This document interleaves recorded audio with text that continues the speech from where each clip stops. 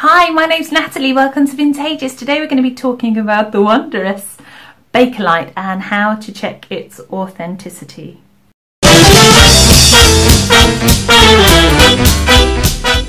Bakelite is an incredibly collectible early plastic sported by many vintage enthusiasts.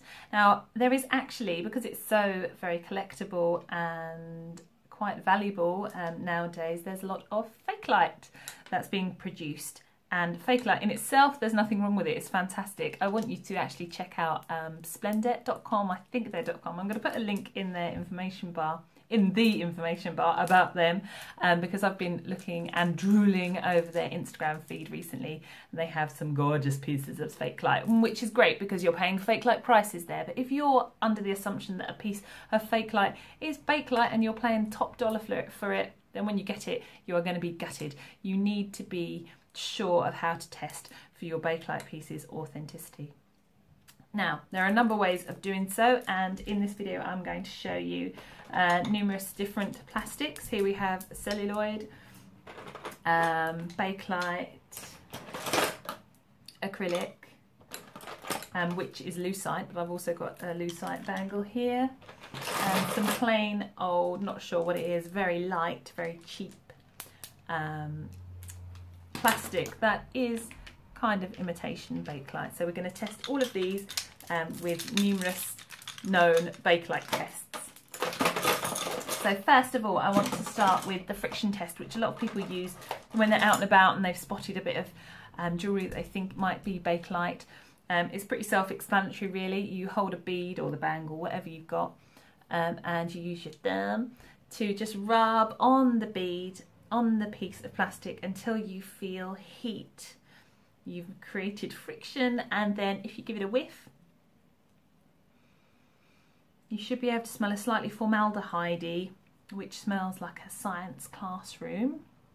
If you don't know what formaldehyde smells like, slightly chemically smell on the bead.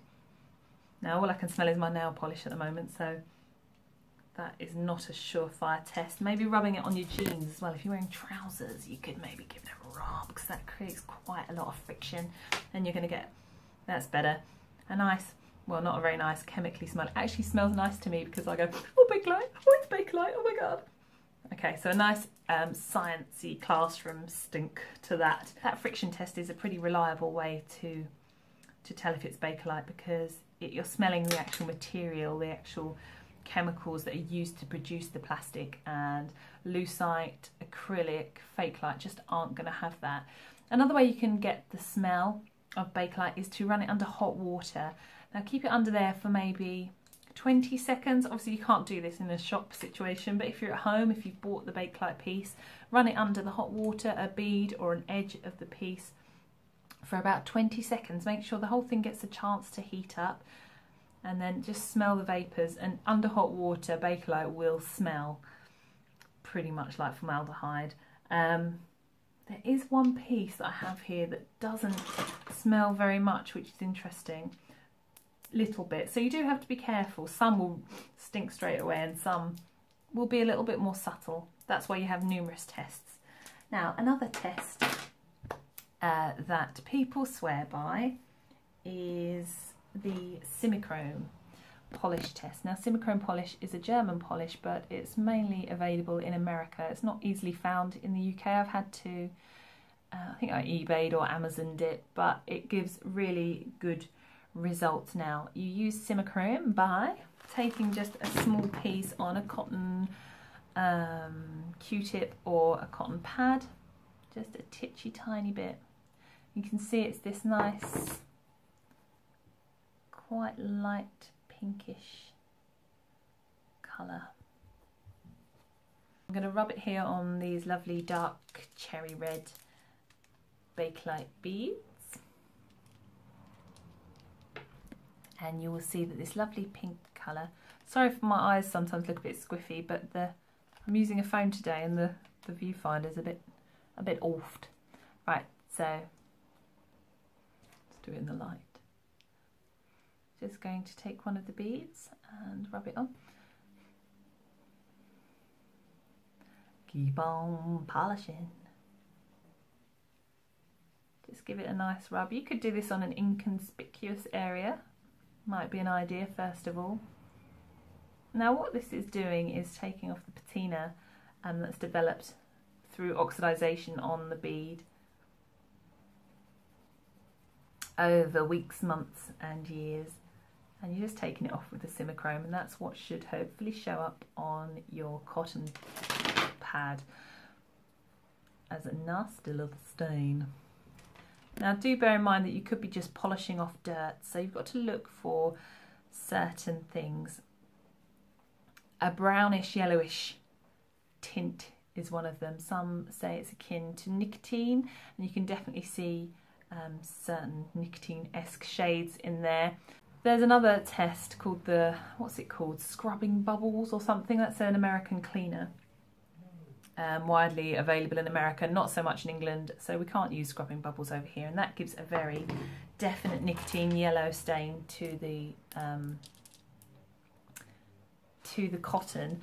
Um, but this can sometimes come off as a browny colour, brownish reddish colour basically if the liquid, if the paste turns a different colour, then you've got yourself some Bakelite, baby. Along, as long as you've got positives on the other tests.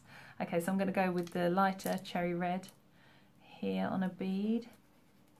Again, do it in an uh, inconspicuous area first. And there again, you've got a really brownish, yellowy, kind of nicotine kind of colour.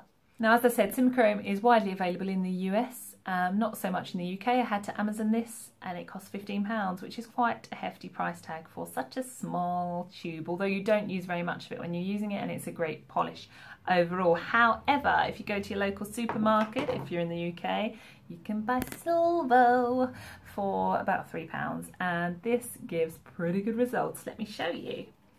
So Silvo is a rather lovely sagey green colour and it's a lot more liquid than um, Simichrome.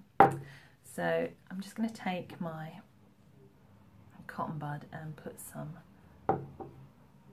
sagey green kind of Silvo on there and we'll see the colour that we get from our Bakelite pieces with this Silvo because I'm pretty sure we're going to get some positive tests. Now this is my favourite Bakelite piece of the moment. It's a beautiful carved, glossy, shiny dragon pin brooch how lush is that?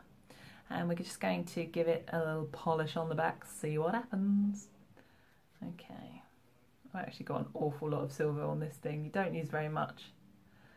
I'm to actually get it off with another one because that's too much. Scrabber, scrabber, scrab. I'm pushing quite hard. And there we have a little yellow stain.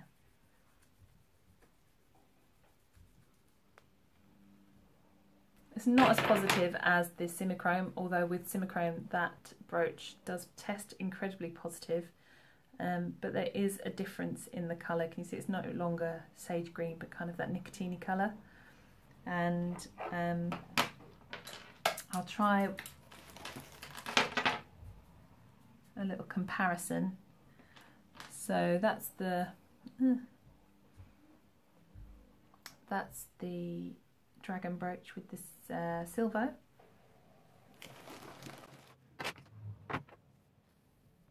And the dragon brooch with the Simichrome. So you can see it is a lot darker with the Simichrome, but there's still, it's the same colour, it's the same, um, same tone, lighter shade. You're looking for this nicotine colour really. This is a chartreuse um, double bangle with a quite heavy patina throughout. That should give a nice positive result. So let's go with the Simichrome first.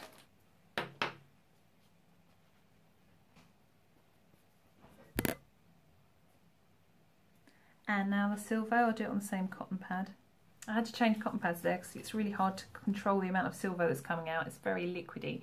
So again, there's the um, nicotine colour quite light compared to the darker comparison of the Simichrome, but still it's still there. So I think if you're in the UK and you're not interested in selling your, your Bakelite on, I think if you're going to sell the Bakelite, then this is a pretty much internationally recognised test of authenticity. If you're not just worried about you know your own pieces, then I think you can test with Silvo um, and hot water. Uh, there's one more test that you have to hear to understand. It's the clunk test of two Bakelite pieces banging together, which is apparently um, indicative of their authenticity. And this is the sound it makes.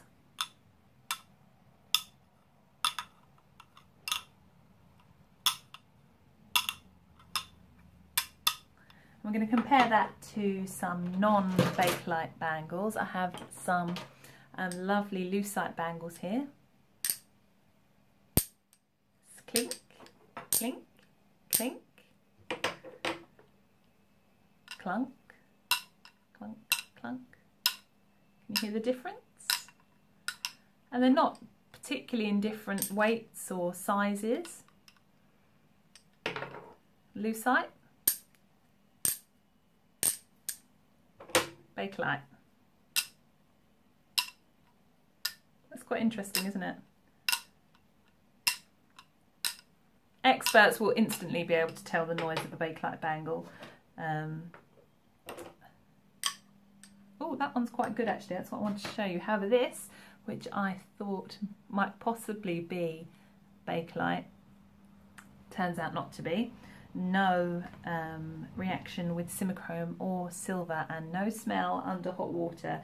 So I'm 100% sure it is not Bakelite. Let me show you. Simichrome negative.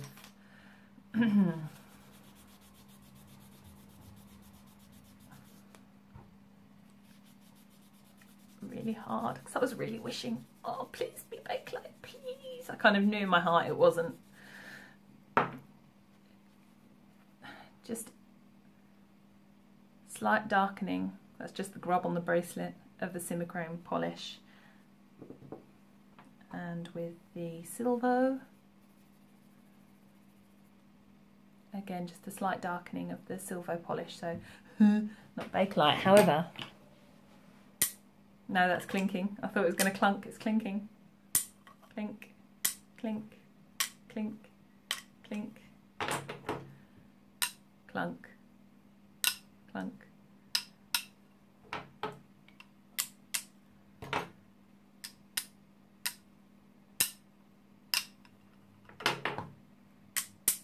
See?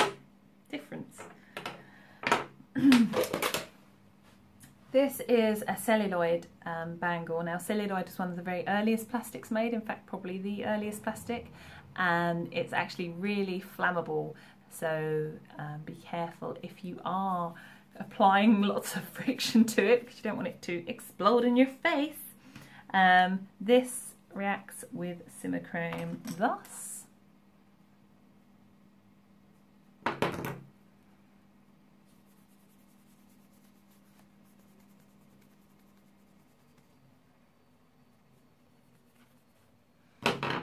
Just a darkening of the Simichrome paste with Silvo.